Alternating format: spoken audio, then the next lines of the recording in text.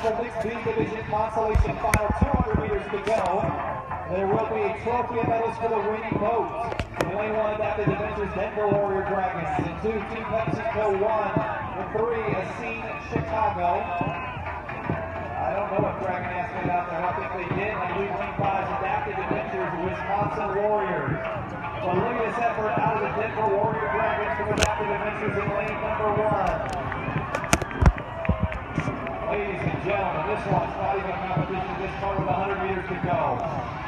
Just time to sit back and appreciate the effort from Adaptive Adventures Denver Warrior Dragons. They'll quit. Third race of the day. They're making it look easy. What an effort, folks. That's a, that's a 50 meter lead they have on the field.